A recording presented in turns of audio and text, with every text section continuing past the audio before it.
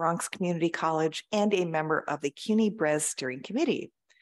Uh, she's an award-winning poet, a prolific author of scholarly articles and essays, and the editor of noteworthy anthologies, including in 2019, Latina Outsiders Remaking Latina Identity. Her scholarship is dedicated to her own Colombian and Cuban parents, who are community leaders in Chicago's Logan Square neighborhood. Professor Acosta has been part of diversity inclusion reform at Bronx Community College and a leader in the Mellon Foundation funded Black Race and Ethnic Studies Initiative Commission. Please join me in welcoming Professor Acosta.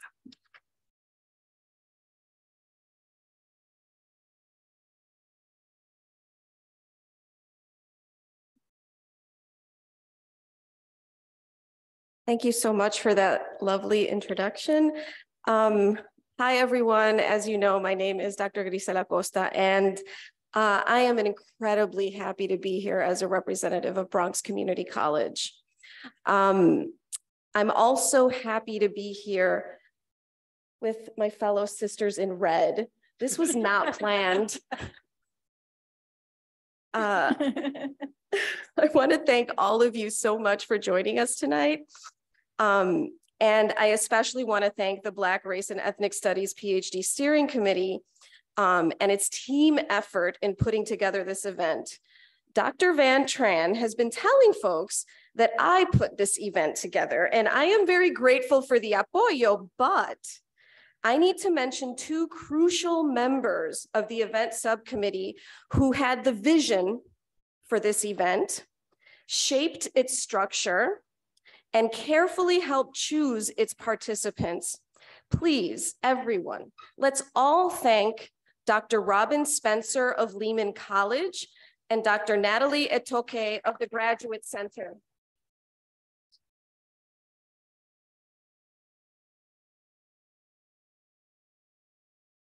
They have taught me much and I am honored to have worked alongside them. I thank them in addition to CTO Rachel Stevenson, Marianne McKenzie, Dr. Martin Ruck, and of course, Dr. Van Tran for their leadership. Okay, now to introduce our moderator and special guests. I'm going to introduce them all via their bios, so be prepared for some excellence.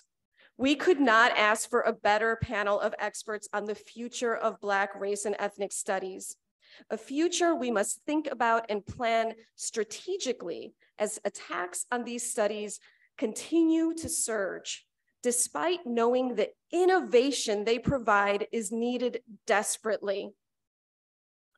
Our moderator, Kandice Chuh, joined the Graduate Center in 2010 as a professor in the PhD program in English and as a core member of the Mellon Foundation on Globalization and Social Change. She is now a member of the faculties of Africana Studies, American Studies, Liberal Studies, and critical social psychology in addition to English.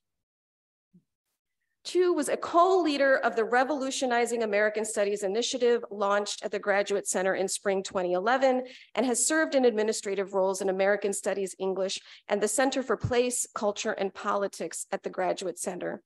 She was also the president of the American Studies Association from 2017 to 2018 and has served in a variety of governance positions at the Association for Asian American Studies, the Cultural Studies Association, and the Modern Language Association. Books include The Difference Aesthetics Makes on the Humanities After Man, the winner of the 2021 Association for Asian American Studies Book Award for Outstanding Achievement in the Humanities and Cultural Studies. Um, and she is also the author of Imagine Otherwise, on Asian Americanist critique, which won the ASA's Lora Romero Book Award in 2004. And that is an abbreviated version of her bio. Dr. Brenda Greene, who has committed her life to teaching, learning, and scholarship, is the founder and executive director of the Center for Black Literature. Yes. director of the National Black Writers Conference, and professor of English at Medgar Evers College of the City University of New York.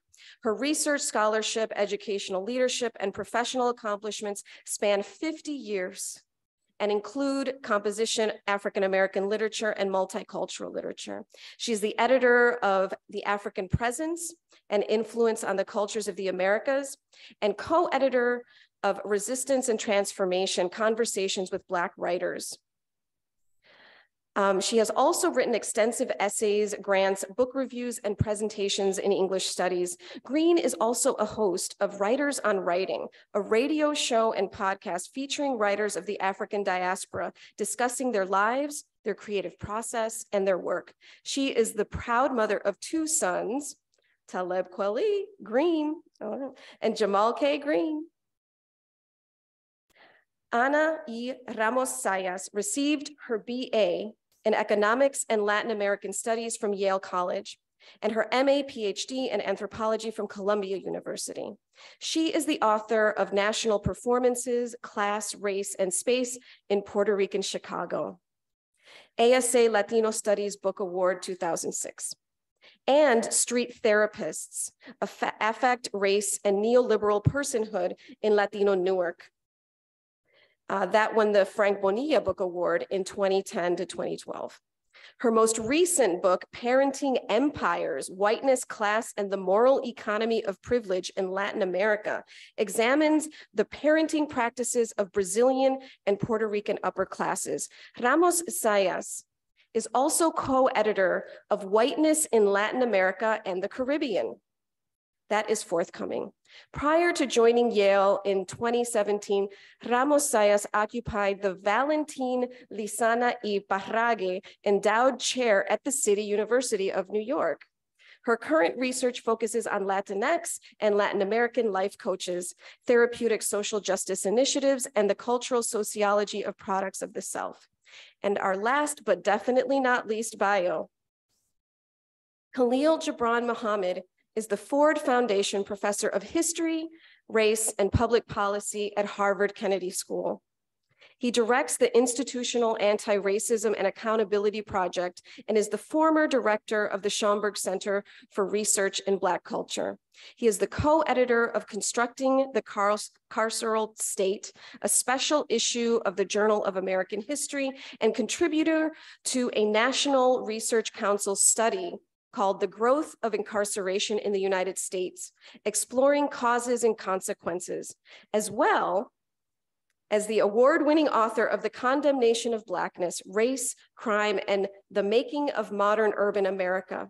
He is currently co-directing a National Academy of Sciences study on reducing racial inequalities in the criminal justice system. His writing and scholarship have been featured everywhere, okay? National print, broadcast media outlets, New Yorker, Washington Post, The Nation, uh, NPR, and so forth.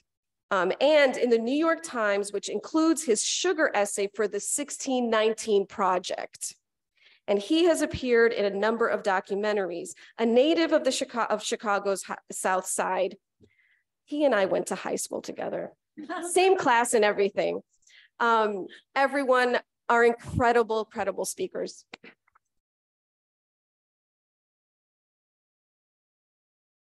Thank you, Grisel. Let me just add my thanks to um, to Grisel's um, to her, to Grisel Acosta, um, and also to Robin Spencer, Antoine, and uh, Natalie Etoke, um, Van Tran, Martin Ruck, um, Marianne McKenzie, who I actually went and I found just like five minutes ago, she's still standing um, and has been extraordinarily helpful. And Christine Kahn wanted to throw in also. Um, welcome to all of you, especially to you all. I'm really excited um, for this conversation today. Um, we will talk, uh, we have, we uh, shared some questions that we invited our, our panelists to think about um, for today. Um, we'll talk amongst ourselves for um, about an hour or so and then open it up for conversation. Um, I will be a little bit of a, um, a timekeeper, as in like I will interrupt you. So I apologize in advance for doing that um, if, if, the conversation just is running too long. I wanted also to note that today is um, not only the beautiful end of the beautiful inclusion conference, but also the Trans Day of Visibility. and given the importance of intersectionality Given the importance of intersectionality to everything we do in Black race and ethnic studies, it seems really particularly ideal that we are launching the Collaboration Hub today. Um, so without further ado, let me ask you to begin by just um, helping us situate you and situating yourselves um, within or in relation to Black race and ethnic studies. So could you um, talk a little bit about what your scholarship is and what your work is in relation to that rubric? Um, and maybe we could start with Anna. Sure. Um, first of all, I just wanted to welcome, I mean, to thank everybody who has made this so welcoming and who has organized. I know that this kind of event uh, there's a lot of invisible labor that goes into it. And so I just wanted to acknowledge that. Um, so my work has shifted, like, like the work of most of my colleagues um, has shifted through time. Um, I began very much interested in um, working class Latinx communities in the US. And I have really been interested in how communities make um, activism work for them and define activism in their own terms rather than in a top-down way. Um, so my first uh, research experience, which came out of my dissertation fieldwork, um, was in Chicago, in Puerto Rican Chicago, which is the northwest side of uh, the city, uh, where many Puerto Rican activists actually deployed a very nationalist language um, to make contributions community contributions. And initially I was very um, sort of like, you know, I found it very peculiar that um, nationalism would be an ideology that would lend itself to social justice because of the different ways in which nationalism has, has been weaponized in other contexts. But in the context of, of Puerto Rican Chicago and the way in which um, anti-colonial uh, nationalism operated there, I really um, was a moment that was very formative for me. I mean, I felt like I had, a, I was a graduate student, very cynical about life and about what we could all do. And so at that moment, uh, working with the Chicago Puerto Rican community totally shifted my my way of understanding what can be done and what is possible. Um, and so when I moved to uh, my job, my first job at Rutgers in New Jer- in, in New Brunswick, I remember also thinking about how unique the Chicago community was, but at the same time, how there were other ways in which um, communities of color actually build connections. And the connections were not perfect. They were fraught with all sorts of stuff, but they were connections that had potential. So I focus on Newark and especially on Brazilian immigrants and um, Puerto Ricans of US born Puerto Ricans and their relationship to African Americans in Newark and even though it was a very tough um, work to witness, and it was, as I said, you know, like fraught with a lot of tensions um, among different communities and neighborhoods, it also was very, um, uh, just very um, stimulating to think about possibilities moving forward. And that's what how I always try to approach my work. I mean, I want to, yes, I want to identify sources of conflict. I want to identify um, tensions, but it is my hope to try to find a common way forward. Um, and so uh, after I did my research in Newark, one of the things that I had realized because of how people would always ask me, you know, so where, where are white people in your work, right? Um, and so I really decided to understand that other side of inequality, not only who is on the damaging side of inequality, but also who benefits from inequality. So I that's when I shifted my work a little bit to focus on privileged um, white communities in Latin America. And that's where I did my work among uh, wealthy parents in Ipanema, Rio de Janeiro, and El Condado in San Juan, Puerto Rico. And I focused very much on what parenting, how parenting is used to provide a moral economy of inequality and how, you know, once people say, oh, I'm doing this in the name of my child, everything goes and everything is accepted, right? So um, I just focus on how that happens. And so this is a one of the one of the contributions that I feel that I bring in is to I feel that I, that I, I want to expand um, how race and ethnic studies uh, really is incomplete response to privilege as well. It's not only something that we are focusing on who becomes marginalized, but how that marginalization happens, how it operates from all angles. And that's what I've what I'm still focusing on to to this time. So I would say that that's probably the best way of describing what I do. Thank you. First of all, I just want to say, like Anna, thanks for inviting me. It's a real honor to be here. Uh, so uh, my entry point into Black Studies is really through being a historian and trained as such.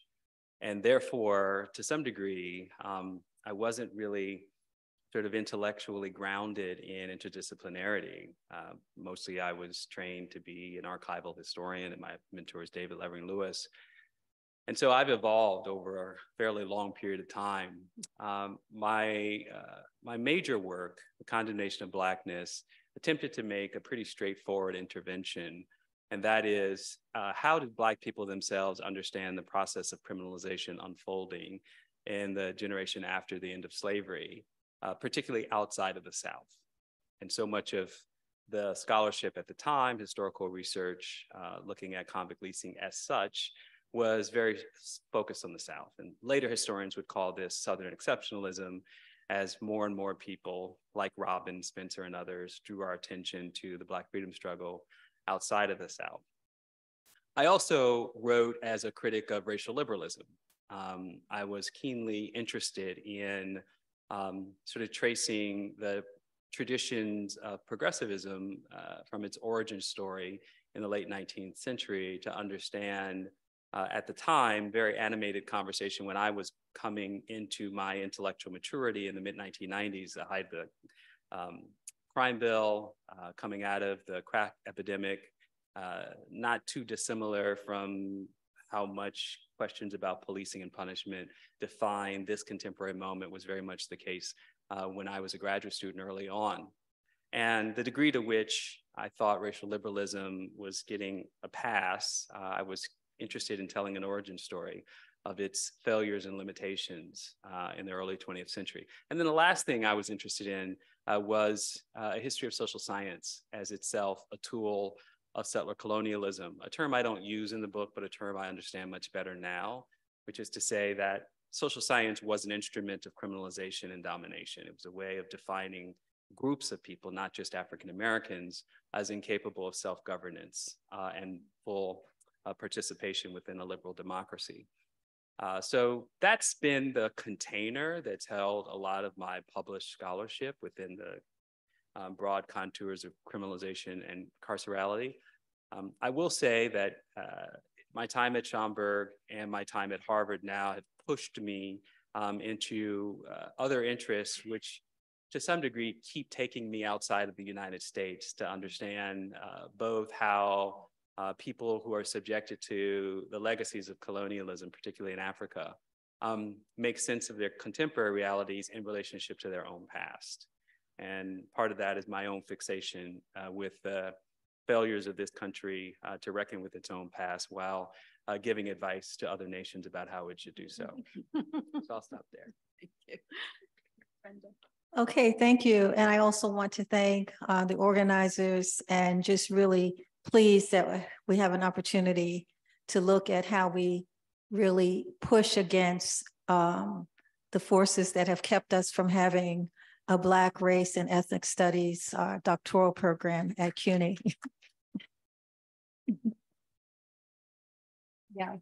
So um, as my colleagues, my, my research took uh, many turns. I was actually trained in composition and rhetoric and looking at basic writers and looking at the uh, the skills um, they do. How can we make uh, language in the classroom more exciting? And as at Medgar Evers College, I had the opportunity to meet the late John Oliver Killens, uh, who was the writer in residence at the college. And he had a vision to host a National Black Writers Conference every year and to bring together Black writers from across the diaspora to look at the state of Black literature and the trends in Black literature. I began uh, working with with um, the organizer, the former org director of the conference, Elizabeth Nunez, and um, really as I began doing that, my research evolved and I began to do it to look at more um, literary works and look at the, looking at the themes and of contemporary uh, Black writers and looking at the themes and the issues that were coming up. We focused on issues such as what responsibility does the writer have? What is the social responsibility of the writer? How do writers um, use their literature to have acts as acts of resistance? How do writers use their literature to expand the master narrative, to um, to create counter narratives? And as I began to uh, do that research, I realized it was important for me. It was really important in interacting with writers to find a way of documenting what contemporary writers are saying. And that has been my, my work over the last two decades is in hosting the National Black Writers Conference. I have an opportunity to work with my colleagues and to come up with themes that I see present in the literature of contemporary Black writers, and also to actually interview those writers through the radio show, the writers on writing and podcasts that I have it's uh, a, it's very important that we document the voices of the range of writers across generations. So part of what we do is we bring um, writers who, who would not normally be in the K through 12 curriculum. We bring them into the classroom, we bring their texts into the classroom, and we bring teaching artists into the classroom. And so that they're reading, they're reading um, Tony Medina's I Am Alfonso, the young people this and and the hate you give. Um they've uh in that's with our young people. And of, as a teacher it's always been um, important for me as someone who's who's worked you know as i said teaching and, and learning for over the, the the last five decades it's really important to me that students see themselves represented in the text that they create so the programs that we have, um, re-envisioning our lives through literature is one of the programs we have for our youth. We bring together emerging and creative, uh, emerging and contemporary writers to read their work, people whose, whose books would not normally be uh, read, books who, uh, authors who would not normally be showcased. The center becomes a place for showcasing writers whose voices need to be heard and whose who need to be integrated into the curriculum. We have many uh, Black writers throughout the ages who who end up only having their books taught when it's a it's time for Black History Month or Latino History Month, and it's it's really um, really unfortunate. So how do we create those spaces where those texts are taught um, all of the time. And you do that by having a conference. When we do a conference, we use the writers who are part of that conference. We asked the faculty who are teaching our college level courses to make sure that they're using those books. Uh, we uh, celebrate writers by giving them deg honorary degrees. We're, we're in the midst of a conference on Black speculative fiction, and we're celebrating Sheree Renée Thomas, who did a book called Dark Matter, which um, really was one of the first seminal works that documented the fact that Black writers have been writing speculative fiction for years, going as far back as the, the 18th century. W.E. Du Bois wrote a story that was um, considered a Black speculative fiction. We're also celebrating Jewell Parker Rhodes. So how do you how do you create spaces where the general public, as well as um, our students and faculty know about all of these people who are writing. The, the, the field of publishing and literature is very expansive, but we don't have a way to showcase the many voices and writers we are hearing. And I also write book reviews. Um, we don't have enough um, Black writers writing book reviews on the books that are being published. You, um, I just, I just, I just did a book review on our the National Book Award winner Imani Perry, And so this, the book review, I, it's written in such a way that it's going to, that people who normally would not read that review would have access to it. Uh, W, uh, Take My Hand, Olin Perkins Vackins is a wonderful writer, Valdez. So again, my, my um, goal is making sure that we're documenting the work of people who are currently writing and we're also archiving that work. And we're doing that with the help of BRESI. We have a BRESI grant to archive um, the program going back to 1986 from the National Black Writers Conference, and we're archiving all of the work that the Center for Black Literature has been doing. Thank you. So, you know, one of the things that strikes me is um, how different your trajectories are, actually, but also that there is a common thread and that has something um, something about the worldliness of intellectual life, right? The worldliness of work that um, uh, the kind of scholarship and teaching that you're doing is always both grounded in how it matters in the world, but also um, arises from the different kinds of communities or formations where you're located. Um, so maybe in, in kind of continuing with that thought and thinking a little about um, your origin stories, how you got to BRESI or, you know, a relationship to it, um, I wonder what you um, say to undergraduates and graduate students now, um, given the kinds of foreclosures to the humanities, to um, public education certainly, but to higher education, to K through 12 um, across the board in the United States and elsewhere, about the importance of Black race ethnic studies, um, about how they might see their um, how they might commit to a project that seemingly um, they're being told has no instrumental future in it, that they can't land jobs. Um, are there particular conversations that you have? How do you shape that uh, that conversation for them, that understanding? Maybe we'll go backwards this time. Okay, thank you. So this it's very timely because um, talk about the divestment in humanities, but it's it's really ironic when you look at what employers want. They want people who are critical thinkers, who have good writing skills, who have who have a world view, who know um, how to move across genres, who know how to move across disciplinary spaces. And so despite the fact that we have, uh, we're at a high point of having social unrest, the, white, the rise in, in white supremacy, and um, the pushback against having Black literature and African American history in the schools, this is the perfect time. Our students, our young people want more courses, want more programs in Black literature, in Black race and ethnic studies. They are seeking it. It's sometimes ironic, I think, that people who are in leadership and administrative positions say, oh no, we should just only be concerned about giving, um, having curriculums where students can get immediate jobs.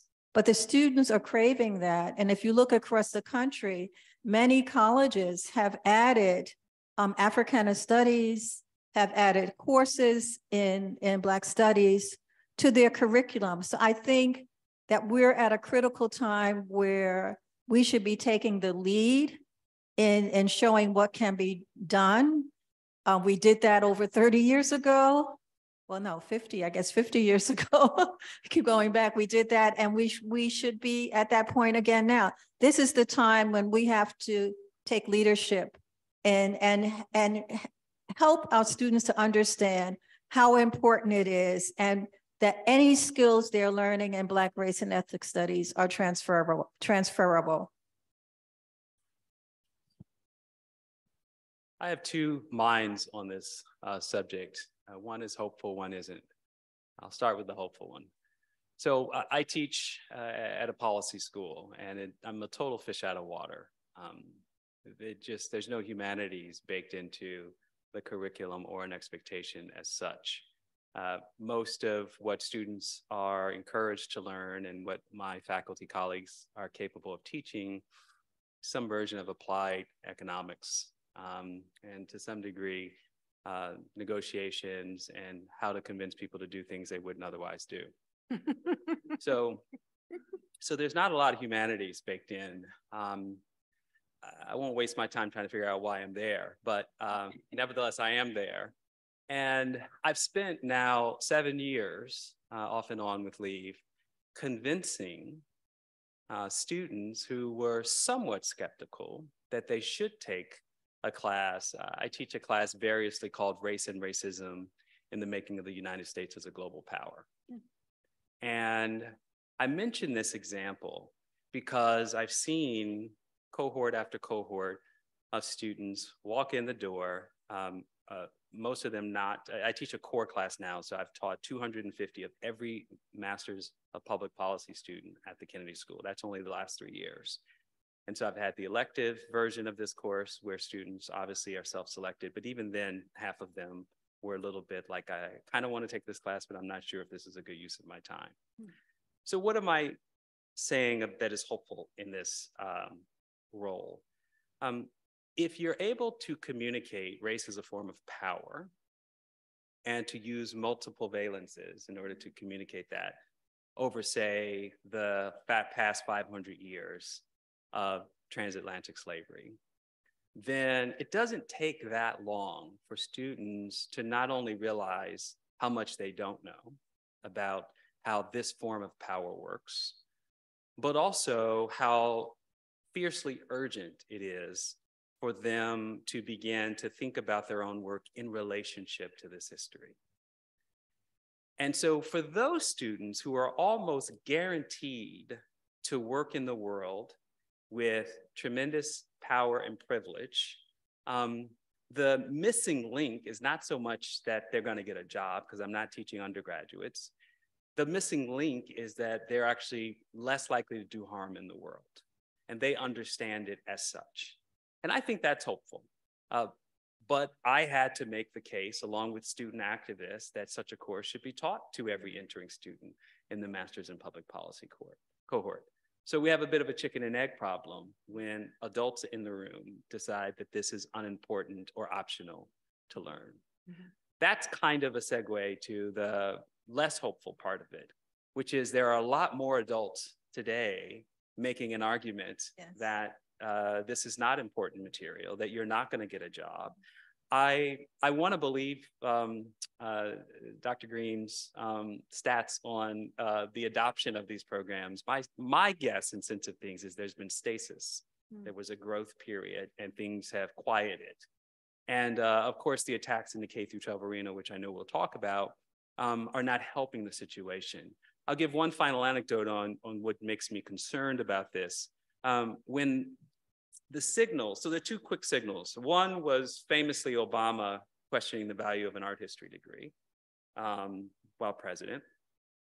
And the other signal uh, is the what I see as a growing divide between people who are on the ground doing activist work and the knowledge producers on campuses being able to work together in a productive uh, form of tension, as well as have community and relationships that would uh, allow those two things to, to go hand in hand. And to me, I feel like that rupture is uh, greater than it's been um, since I've been working as a professional.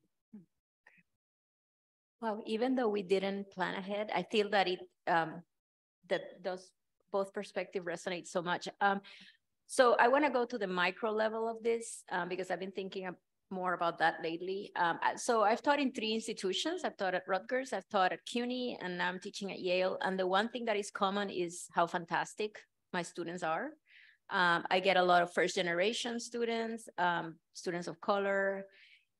At the same time, this is my concern, and I don't know how to address this, but how do we not only teach the subjects, subjects, but teach them in a way that requires students to learn history. And, and, and this is, I mean, I'm not trying to go back to not being interdisciplinary, but right now, um, you know, one, one of the things is that most of our students are very, especially the graduate students, are very susceptible to trendy language that is very depoliticized.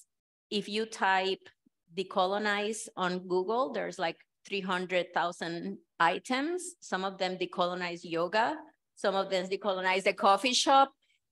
And to be honest, I mean, I I have gotten to the point where I will just circle that kind of language and ask people to go and find stuff for me, to go to the archives, to go to the, you know, uh, I find myself teaching about finance in the classroom. I teach about banking. I teach about stuff that, you know, I, I need them to know stuff. I need them to be able to say, to have an argument when they graduate and bring stuff up. And I've increasingly noticed that that has been less and less the case. And I am I am worried, and I would love to. I mean, I think that this is such a great space to be able to go in that direction because um, even in like right now, Yale spends a lot of money and resources in the humanities. The humanities probably the strongest uh, feature of of the university, but it does not address those more micro uh, ways of understanding power. And it becomes very much about sounding smart. And they feel like sounding smart is just defaulting into heavy top down theory. And when you ask specific things, they don't know that. And this is Yale when they have all the privilege in the world. They're not teaching five classes as TFs. They're, you know, they they get funded for like the whole five years or more. Uh, and still, is that defaulting? Um, so I'm not proposing anything. I'm just making, I'm just putting it out there out of frustration. And also because I do think that there has to be a way that collectively we find um, we, move forward because this is becoming something that requires that we understand communities again. It's not something that is going to happen in the Ivy Tower or in the university setup. It will require our students to really turn, be very public facing about what they do. Um, so yeah. Thank you. I mean, so that's the perfect kind of segue or um, continuing this conversation to really think about what the pressing issues are. Um, and part of, you know, I was just going to say with this question, like Florida, go, you know, um, but we can actually also, like, really importantly, Ana, I think, um, expand that, right? So we're focusing on a particular place and a particular situation right now, but some of what you are all describing is actually not locatable to this moment where um, there is this particular uh, effort to censor um, knowledge to whitewash history um, that's unfolding, but rather a different, you know, a whole array of things. So I wonder if you could start us talking or thinking through um, what, how you might identify what those pressing issues are, and certainly addressing um, the contemporary, um, you know, situation in Florida and elsewhere mm-hmm. um, that's unfolding. I, I actually, I, I thought of asking Khalil to start this because he's in my inbox everywhere, organizing and writing letters and statements and mobilizing the day of action around this. So uh, maybe you would start sure. and then we yeah. can go. Yeah. Well, uh, in the tradition of resistance, uh, on May 3rd, hopefully some of you in this room will commit to doing something, what we're calling a National Day of Action, uh, Freedom to Learn. And uh, and roughly speaking, aside from the, the day of action and May 3rd and uh, you can certainly Google it and, and look for the link to, to sign up. Uh, the larger uh, crisis here is that the, um, the problem of the global south and uh, capitalism and uh, in times climate change um, is stirring up trouble around the world, to be euphemistic.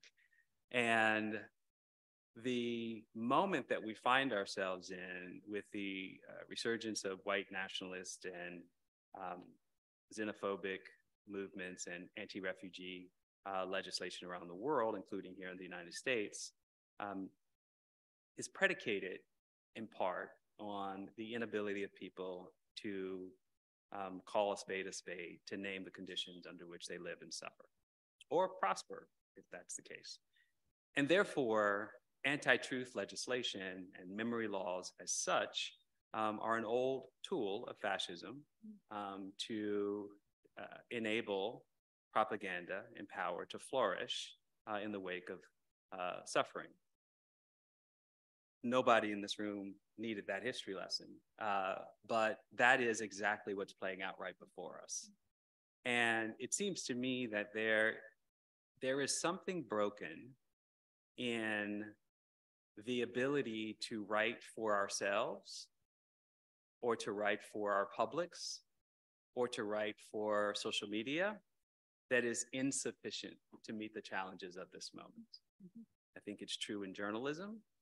Um, and so the act of voice, which is essential, it's what makes us human beings, um, is enough to survive, but it may not be enough to overcome the challenges we face in this moment.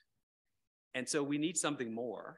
Um, I mean, the, the ground upon which Black Studies itself, as a field proper within the academy, grows out of that very blurry distinction between voice, knowledge production, and activism. And, uh, and so, again, I could repeat all of the talking points of our moment, but cutting off the next step, um, which is the activism, is going one step before, which is the knowledge production. Um, our enemies are more or less fine with us having a voice, and to some degree, even our students in our classrooms having a voice. But if we cross the bridge, the, the metaphorical bridge to uh, what happens in primary and secondary education, uh, if we cross over into the workplace, uh, even if we cross over into the public square increasingly, uh, then the uh, state will engage in forms of surveillance, suppression, or outright violence. Uh, and so I think there are risks um, that are greater today than they were a decade ago. Uh, they may not be greater than they were in the 60s and 70s, um, but those risks uh, are real and worth taking. Yeah, no, definitely. Um, one one of the things about crossing into that public sphere is precisely that there are. I feel that there are so many structures in place that academic context actually uh, place on us as faculty, but also on students that make that crossing, which is so necessary, even if it's so dangerous, very much something that needs to be done. And yet we're not given, you know, we're not given the tools to be able to either train students to to do that step of talking to different publics and being involved. Um, but at the same time, you know, we find ourselves expecting the institution to give us that tool. So it's it's kind of where are we expecting liberation to happen? I mean, because it's clear that it's not happening in academia, right? So, so, um, but but we keep expecting it to happen, right? And and there are very many um, possibilities in acad in academia for that, but it but it's not in, enough. And so, um, so I feel that it, it whatever process of um, institutionalizing uh, Black or, or, ethnic studies will really require require um, a push against institutionalization. So it's that kind of figuring out and being creative about what, how to, how to understand all those pools that we're facing. Um, and there's no easy answer. I don't think that Florida is exception. You know, I, I think, you know, Florida is obviously the craziest, most open one. Um, but, you know, but it's certainly just the outcome of things that have always been happening for a while. Um, so I think that it, at the same time that it's very frustrating and very scary, it is also a moment that we're finding ourselves that I think we're starting to recognize as something that requires action beyond the narratives that we spin. Um, yeah. Yeah. Um, as you were talking, I was thinking uh, we have these forces against us, but I think we have to look at the lessons we learned. And I'm going to go back to the lessons we learned um, in the 60s and in, in the 70s. If, if people did not become intentional and deliberate about having a call for Black and ethnic studies, it would not have happened. You're always going to have forces against you. So you have to, I think, um, think, think very strategically about what you can do from your own space, from your own classroom, from your own uh, community, whether it be academic community or the community outside, you have to think about deliberate strategies that you can put in place. And it's not going to happen overnight, but it won't happen unless you actually face it and go into the classroom. I mean, I'm going, back to K through 12, going back to the resistance, as as Khalil said, around um, there's many more people saying we don't want the humanities. yes, they're saying that, but part of what's the wonderful thing about being an academic is that you just have a lot more freedom, I think, to be able to push and to um, challenge and and question and and to be persistent. And those are the people who got us to where we are. You looked at what happened in the civil rights struggles, the, you know, the Black studies and ethnic studies struggles, what happened with the Black Lives Matter movement. All of this has happened is because people were in the forefront. And I think we have to remind our students that one of the things we're doing is to train, is training them to be, training them, or should working with them to be leaders.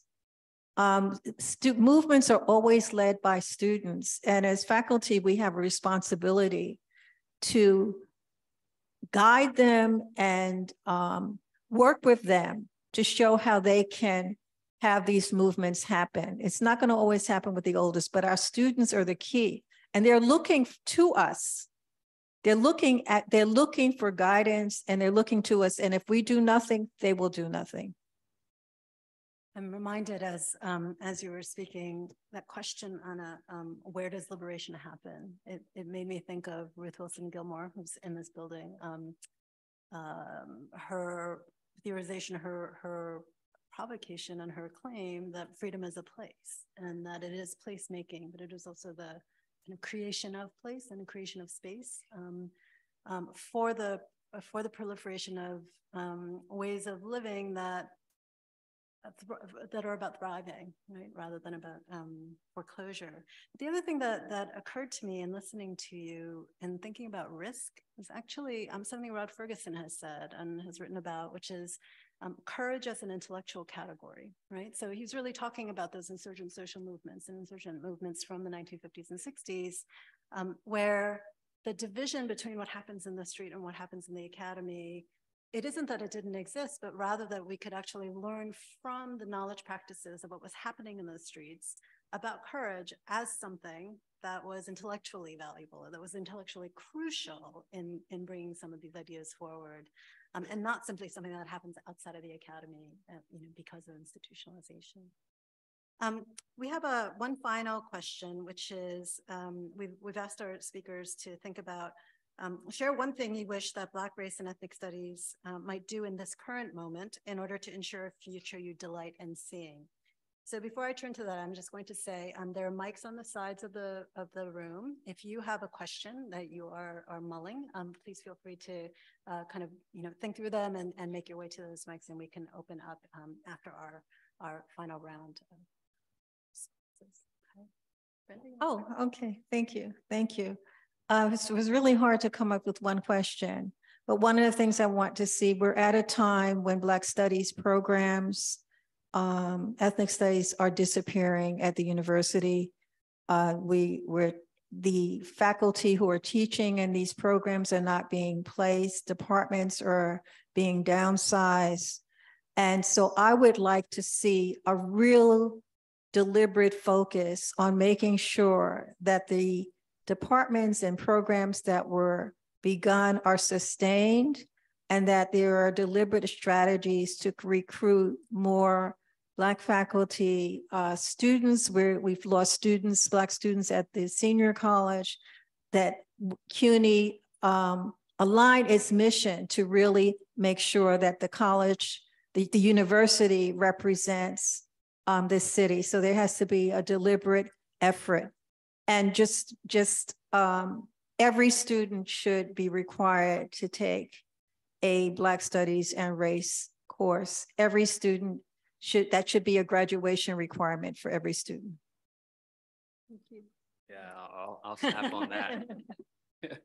I, I, actually like that a lot. I mean, it's it's remarkable um, to bear witness to the I, I mentioned to the president uh, earlier the uh, academic malpractice that happens in higher education today, 50 years after Black and ethnic and women and gender studies have evolved.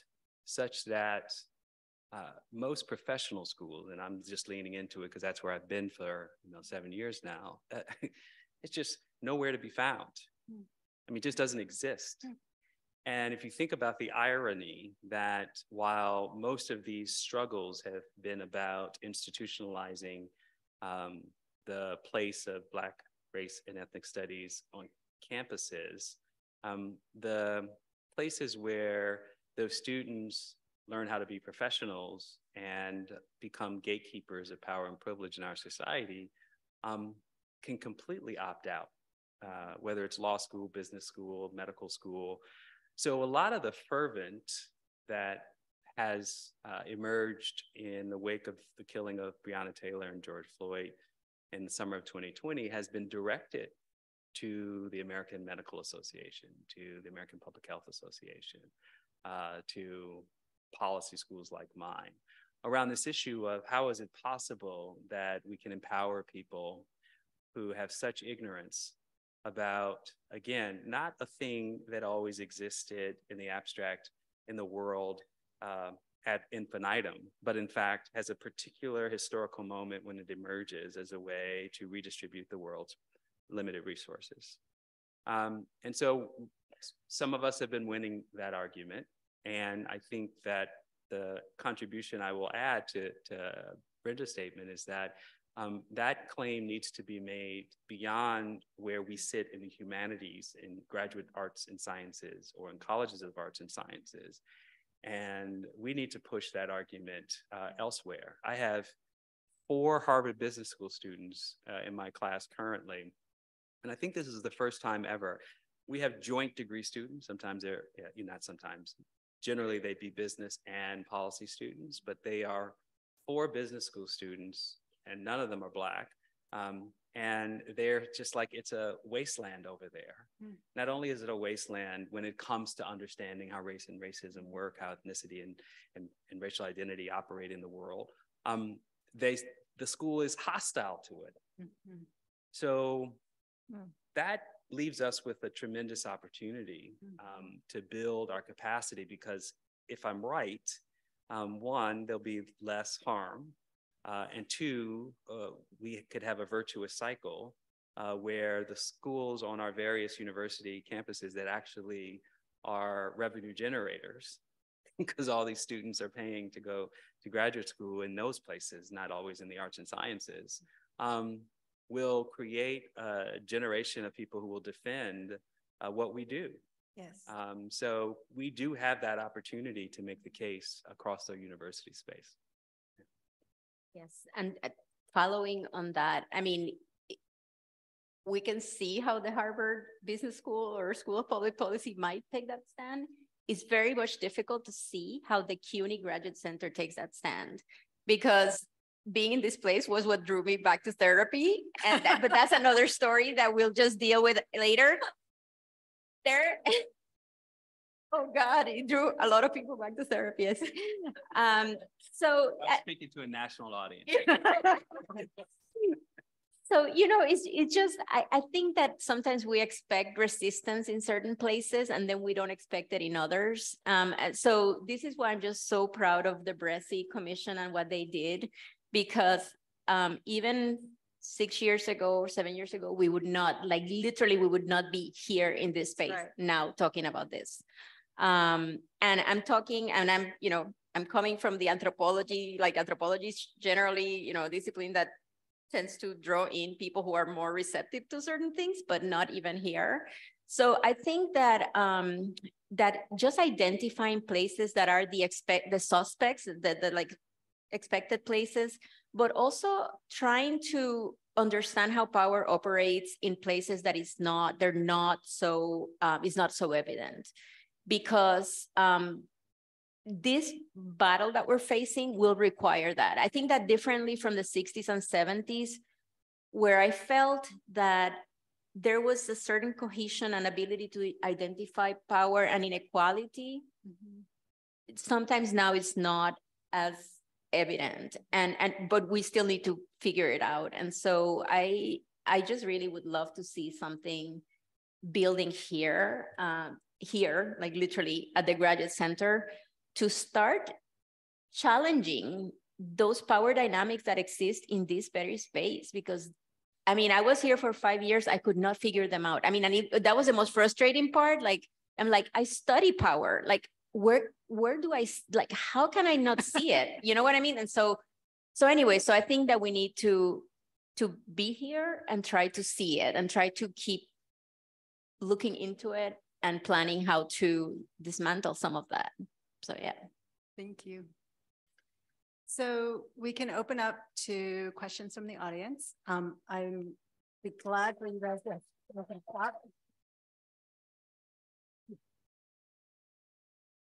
I wanted also to give you an opportunity to speak with each other if there are other things that you wanted to follow up on. Um, Van, please. So um, first of all, thank you so much to the entire panel. This has been amazing.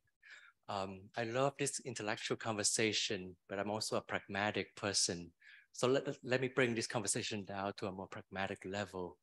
And it's the question of funding. Um, what arguments do you make to both public and private funders as to why BRES deserves funding? And not just that, but generous funding support. Uh, we're not Harvard, we're not Yale, we don't have billions and billions of dollars of endowment that we can decide to provide to CUNY or the GC or the campuses. How can we help make this case? Thank you.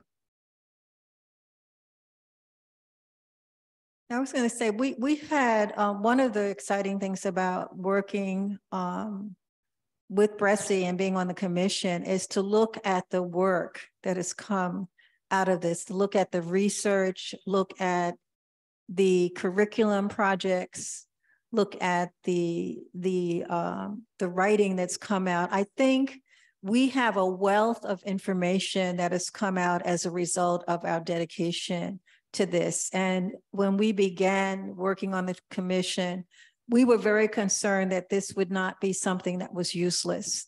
I think we have the documentation to take to funders and to say, this is what can happen and it can be expanded on and we can be a model for what other people are doing. I'm just amazed at all of the work that's that's coming out every week is something new what people are doing across the university people are feeling faculty are feeling much more empowered students are are coming back and excited about the work and i just think we need to sh- to showcase that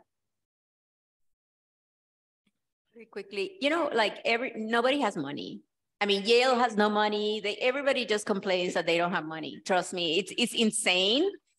And you know what? Unless you are at the table where money issues are discussed, you don't know how much money. I mean, like I'm not, you know, but but money is placed in whatever whatever the power goes, and that's how. So I think just doing an assessment of internal, of like an audit of where the money goes, I it, you know, is a point to start. And I'm not trying to, you know, um, undermine the the different, but but I do think that um, it's amazing how money all of a sudden comes up when there's some real genuine interest in something. Um, and so that being a component on the practical level of how to fund things, not the, the only thing, but just one part of it, I think is a, is a way to start or to at least include in the in the uh, plan. I, I love Ana's uh, in, uh, reminding uh, all of us that the richest institutions in the world cry broke too. Yeah, unbelievable. Um, and I got lots of stories, but um, right. I wanted to add. They have they they don't have money in the same not in the same way that CUNY doesn't have money though, right? Like they, they may cry yeah. poverty, but it's a different form. Yes. Right, but but it's the austerity in the intellectual circles that we sure. run in, yeah. you know, essentially yeah. feels the same and in some ways looks the same. Sure. Okay, so I, I wanted to say that, um, and I've, I've dealt with this a lot and I've thought about it a lot and I've uh, worked on it. So the, the market economy does not reward this form of knowledge. Okay, so that we recognize. But within the market economy that shapes higher education, particularly around fundraising, um, there's a lot of prestige that is um, commodified in terms of uh, how donors are solicited by universities, including the CUNY, um, and what donors want in their relationship to a university. So part of what leadership has to do to be convinced of or to build capacity for uh, is to essentially tell those donors that you can't launder your reputation um, or gain prestige with my institution if this kind of work is not important to you. Mm-hmm. And maybe it's not formative to how you came of age and how you understand how power works in the world, but that's how we understand it. And so for this institution, we would love your check.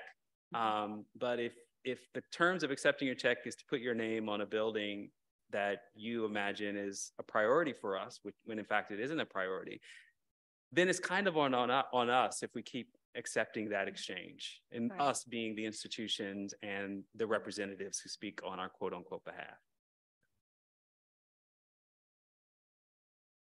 Yeah. Comment. Yes. Which one? I don't know who was You there go. first. I'll go after you. That's okay. Oh, hi. Um, this question. Um, so sorry. I'm a doc, a doctoral candidate about to exit and go into the job market. Um, and so the question that I'm asking is for um, emerging junior scholars. Um, because first of all, thank you so much for what you said. It is my experience that we are all getting a Southern education. Um, my degree is like my research topic is looking at the economy, um, like Black women and wealth. And um, I went to two Ivy Leagues. And when I went back to the syllabus, also teach in a program. We start at the Industrial Re Revolution. And I'm like, how do we build it? Um, and I'm I just went on a hunt to like look at everybody's because that's what I'm gonna do. And then I wrote, I looked at Harvard. So I looked at, I'm at Penn. I'm like, what's going on? and now, of course, I'm pissed because that's what's happening. But when I start to have to push, because it's ethically un, it's, it's, it's like ethically, I can't engage in this, right? Ethically, um, I've been investigated twice. Like I'm fighting one battle right now at a major institution with a lawyer um, because I am uh, like against i am like um in violation of the policy just who i am right and so now i'm trying to pause and just process and figure out like i am about to graduate i am about to enter into this field what is the strategy for me and faculty who look like me and ethics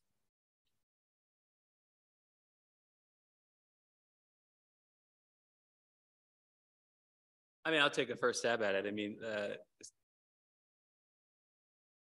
I say this to students who are entering grad school as opposed to those exiting grad school.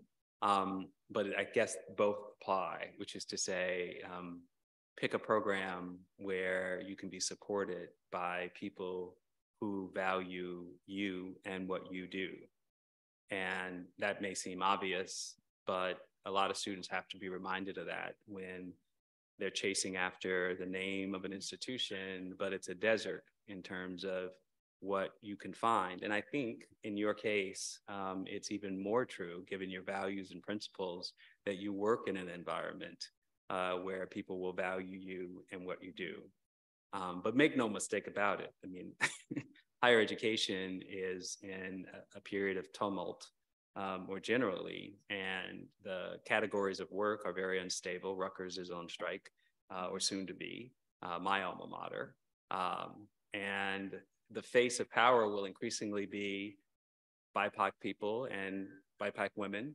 Um, and so it's going to get really swirly uh, when those decisions coming from on high, you know, look like you, like a Black woman, saying, you know, we don't have money for graduate students uh, any longer. Um, so part of part of the long-term strategy, which doesn't solve your immediate problem, is that all of us have an obligation to build those communities of strength amongst us to be more careful about playing representational politics um, because they're going to be increasingly used against us um, because you know all skin folk and kinfolk, as they say. So I can talk to you more about other practical strategies, but you know, I think the the most important takeaway is be very sharp about the environment you accept to work in. I think I, am going to throw in one extra thing to that, which is um, the kind of work that we can do differs from situation to situation. So find the thing that you can do now that allows you also to do your work to have um, money to pay rent, to be able to put food on the table, to keep your job in whatever form you need it to be. Um, and that's going to look different than when you are a senior scholar who are who is at the grad center or at an Ivy League institution, you're going to be able to do different things. The, the, the category of risk is not one size fits all. So it's okay for you to find things. And then you got to get your people, your faculty people to stand, to put their bodies in between you and whatever trouble there is. So there are senior people to you. So those people need to get sucked in, you know, um, and, and other people can help you figure out who those people are. Right. I would I would also add to that is to seek out professional organizations um, that um, have some of them have caucuses. You have to seek out people outside of the university. I think part of my strategy for surviving higher education was was making sure that I continually worked across across the university, different colleges, and my professional organizations. They really helped to give me the strength. As a Black woman in higher education, I felt alienated and marginalized on many, many occasions. And it was the people outside of the university who gave me that support and strength to keep going on. And that's really, really important. Thank you. And you know what? Like, I don't know, it, never feel like you have all your eggs in one basket ever, ever, because, and I know that this is, you know, but this is a job. It's a job that we spend a lot of time and resources on getting. But I sometimes feel that um, graduate students uh, take a lot of it. I mean, take a lot of it um, very personally. I mean, and and and view this job as a as a way to determine their own value, and that's not, you know, this this is a career. This is an entire industry that is really going to increasingly rely on contingent labor right. that is going to be exploited. That is happening already, right? Like we don't know what tenure will look like in a couple, like a, a decade, right? So all that to say that um, as, as difficult as it may seem, and while you continue pursuing that good fit for you, that, that what you really envision for yourself in terms of a career in, in this field, always have a plan B.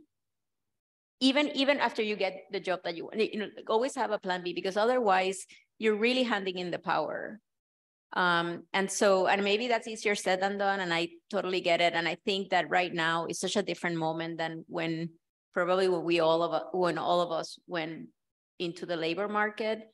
Um, but you know, all the all the um, advice that my colleagues here have given are really important to to keep in mind. Thank you. A, B, C, and D. Hi, I'm Dion. I'm a faculty member at City Tech. Um, I'm a member of the Black Faculty and Staff Association, and I'm actually probably still here because of Black Faculty and Staff Association. I got association outs, I got support outside of my institution when I was being really injured within my institution. And so I just, and I just am so grateful to them. Um, but I just wanted to say that, that I didn't expect that. I expected to always be traveling and fighting alone. And then they made it so I didn't have to. And I'm just overwhelmed kind of with gratitude. But that is not my question. I am also a Yale, and I call it evil Yale alum. And before I ask my question, I will just say I work with the hip hop archive at Harvard. I'm a Yale alum. I will put my Brooklyn City Tech undergraduates against those Ivy League kids any day of the week twice on Sunday. they are so brilliant and powerful. And I just need to say that. So I want to go back to BRESI. And I asked the same question at a BRESI event yesterday. yesterday.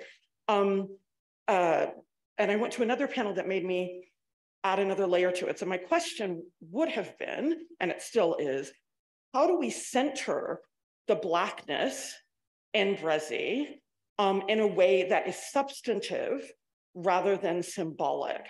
What I see a lot of, because I'm from California, um, there's a lot of, uh, one of the things we've had in academia at California is this idea that you use black, the high visibility of blackness to open a door. And then once you're in, you just push the black people to the side and step over them and, you know, hope that they don't, hope that they don't ever get off the ground. And sometimes we don't get off the ground. So how does, how does BRESI center blackness and at the same time, because I really believe uh, in coalition building and solidarity um, connections, how do we center blackness and have a really rich intersectional, multi-ethnic coalition? Like how do we maintain that balance?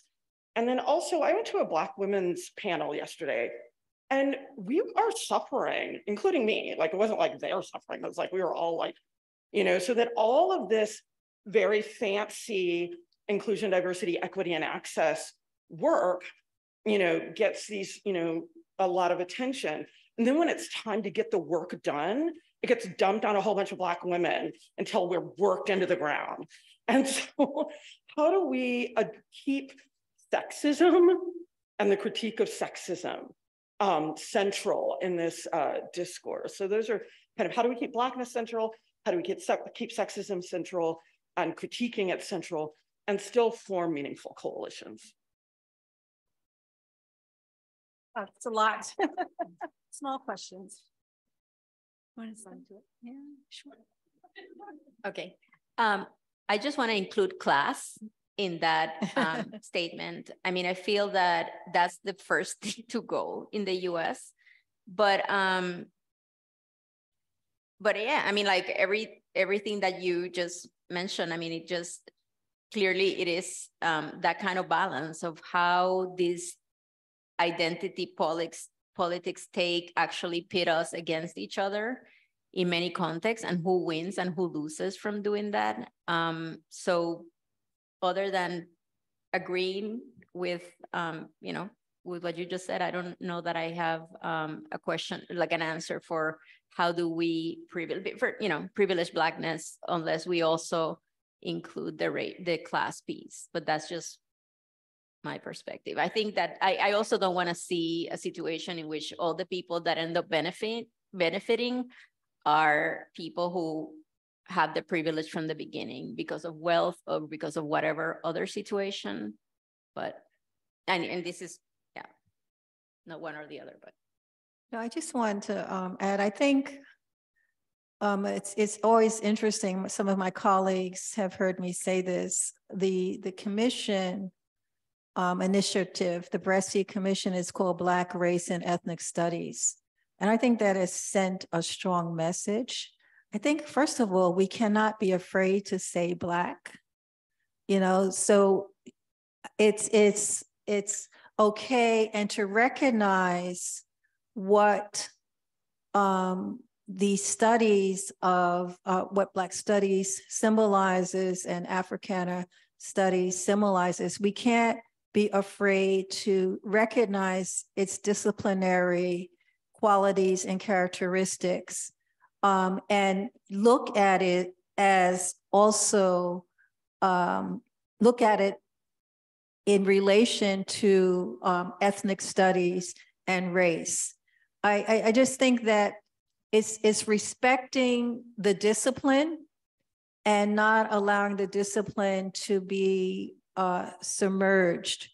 I, I, had an interesting experience when at one point I was asked to um, to take on another responsibility at Medgar College. And I said, well, I founded the Center for Black Literature. I want to make sure that whatever I do, I hold on to that.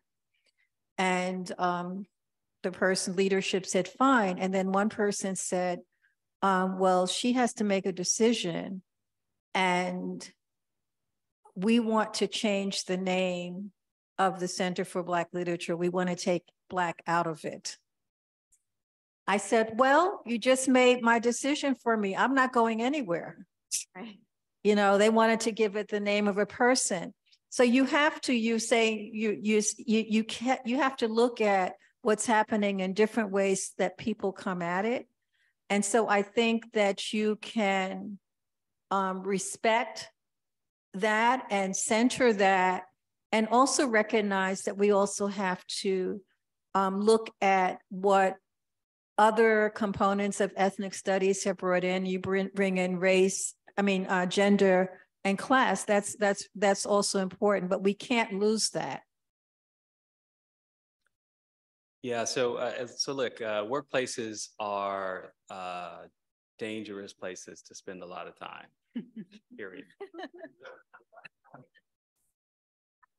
and uh, and obviously the way that power cuts in our society, Black women often bear the greatest burdens. Uh, so I just want to affirm what you've described. Um, you know, it's always situational. There is no one size fits all how to remap power in those places, but you have to be. I'm going to sound really old and conservative, but um, the um, if you were to start from scratch, you have to you have to maintain your credibility um, because people will use that uh, if if there's a failing, if there's a mistake, uh, you will have a very hard time overcoming uh, how power works in in you know within a workplace, whether you define it as a department, a school, a uh, set of cubicles, whatever the case may be. So that's just to me always really good advice. Um, be bulletproof as best you can be as you exercise whatever power or uh, ally building that you need in order to make a difference um, in that environment. And I just want to affirm, like I, the, the first lesson I teach my uh, MPP students, again, uh, they're about 10 out of uh, 110 students who are Black, um, and about three quarters of those are Black women. So these are mostly not Black people. but one of the first things I teach them is that if you are to understand how race and racism works, both in the US for the past 500 years, but also how it's been exported um, as a colonial power in the world to teach others or to hold others to a certain way of understanding how race works, um, then you have to understand the hypervisibility of Blackness.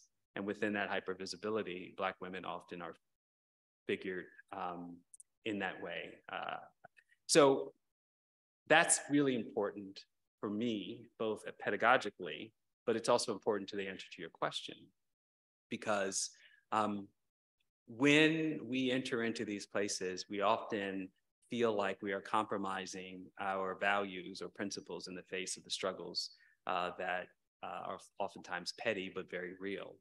And if you can find a way to either institutionalize an understanding of this, this is part of what we can value in terms of equity training, um, or you can socialize a community of people to understand this, then I think you'll have more success in facing whatever challenges come up. Uh, so I just try to be as practical as possible um, in addressing it because I think these patterns repeat themselves um, I have one addendum to Brenda's uh, story about um, about blackness. So they wanted to remove black from the center.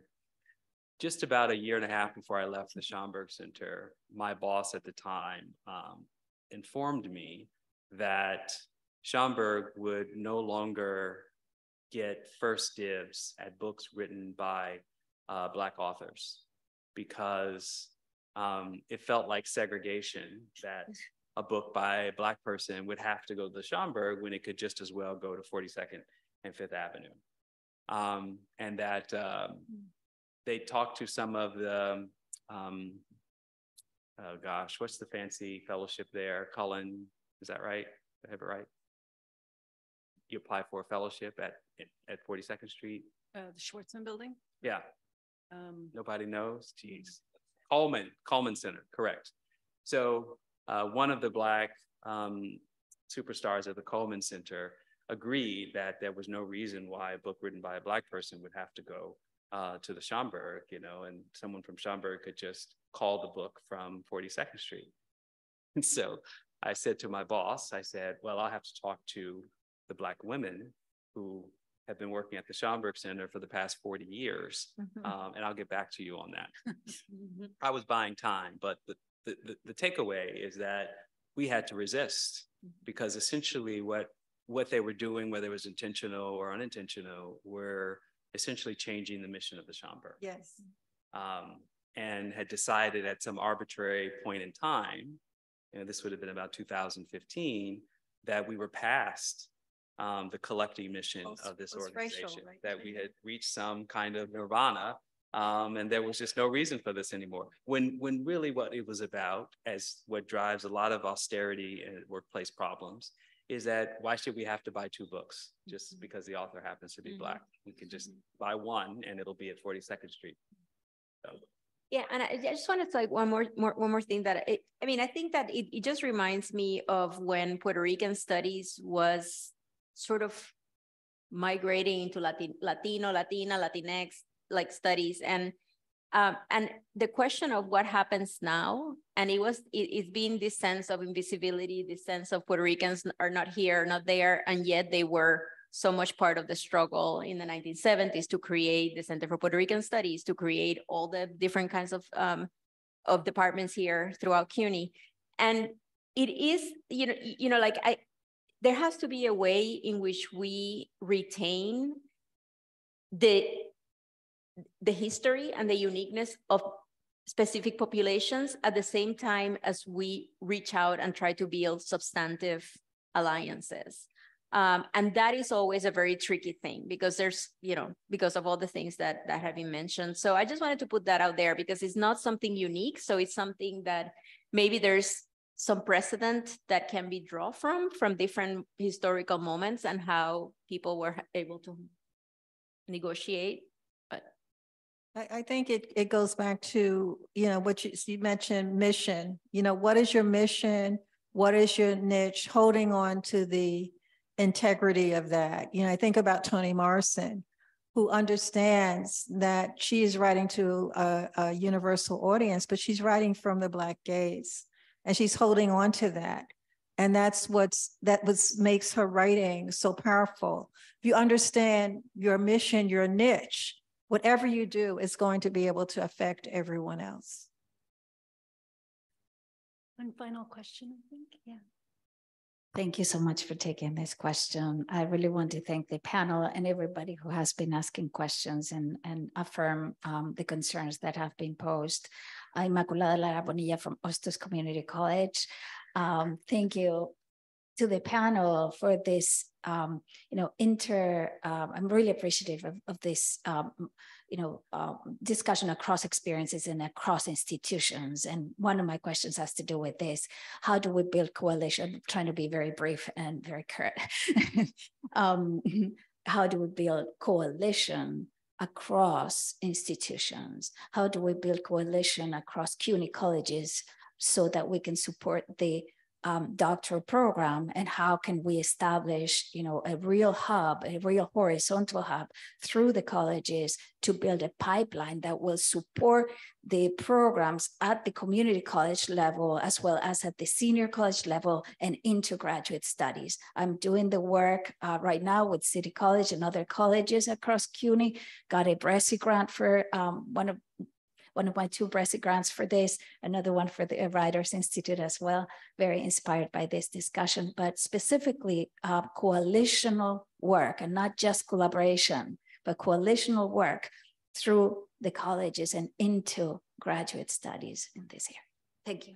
Thank you. I mean, that's, it's a beautiful question with which to end our session. Um, and I am happy for you all to answer, but let me just say, one of the things about this being the launch of the BRES Hub is that um, what comes next is in fact um, occasions, affordances, opportunities to work together, um, to think thoughts together, to work really hard on the ideas together, to build curriculum together. Um, and I think that that becomes a ground where we can start to build the kinds of relationships that you're talking about across different institutional formations and to recognize that situationally there might be differences, but that the conversation has to be able to um, reach out across those differences for it to work at CUNY, particularly at CUNY. So I don't know, is there anything else that you want to add? I, I just want to add, I, I love this, the fact that you're saying, bringing that um, from the community through the uh, senior through the graduate level. I think we also, in moving forward, if we want to look at what the future is like, we need to have, there are many faculty at the community and other senior colleges who could be teaching at the graduate center. They, there's a wealth that can, can bring. And if we continue to have these kinds of discussions and forums, we need to see more interaction within CUNY and not look at the graduate center as a special elite space. But all of us have worked on our degrees. We've done the work and the research and I, that it needs to open up. Um, I just, just, I mean, I, I think that one, one thing that is to think that you have a lot of people rooting for this to work and they may not be in this institution, but they are around. And I think that everybody's just like really um, super excited about, about what is happening here. And um, in any way that those coalitions can exist beyond here, I, I know that at least from my perspective, be great to, um, to be, you know, cheering on or, or present in any way. Um, and also shout out to the community colleges. Like I'm just total fan. I mean, they do, they do, they really do the work. And so just, you know. I have one, uh, one just general thing to add. Uh, I think that whenever you're looking for coalition work to happen well, and particularly if the institution itself is resistant to uh, change, whether it's a funding request or organizational change. Um, you have to be really thoughtful about where there are weaknesses institutionally, uh, and then to mobilize people to attack those weaknesses. Hmm.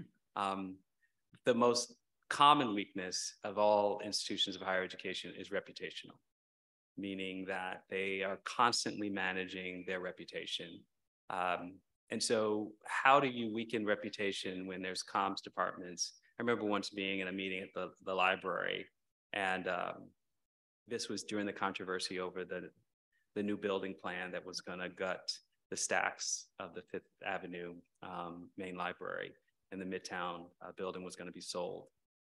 So many of you remember that controversy.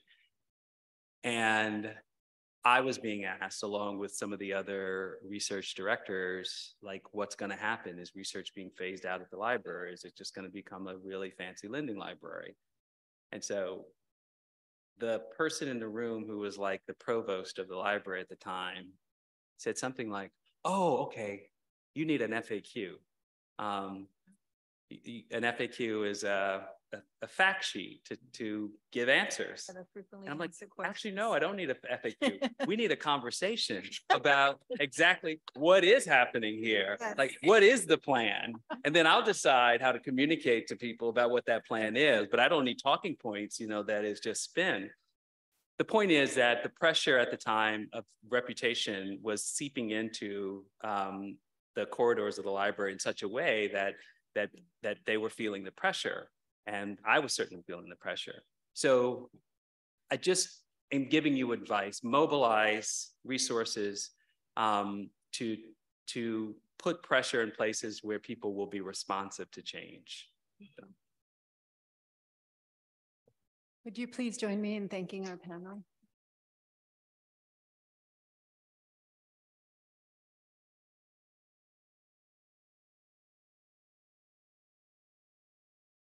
An eye out for information on new things happening with the BRES Collaboration Hub next year.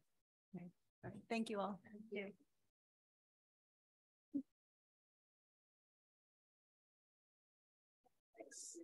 It's been wonderful you. I do believe that we have before. It seems that we should have. Thank you so much. Oh, thank you, Brenda. It's really wonderful to hear you and you know the work that you've done in the I love that. No, and I'm a literature person. I yes, so yeah, I, it's one of my